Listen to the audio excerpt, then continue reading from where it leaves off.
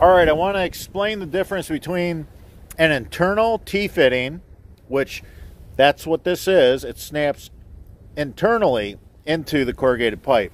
This is made exclusively by the Baughman Tile Company.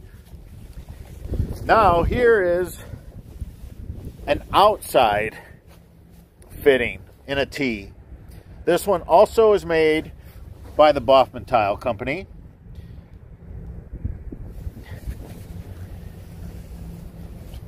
We absolutely love the internal T.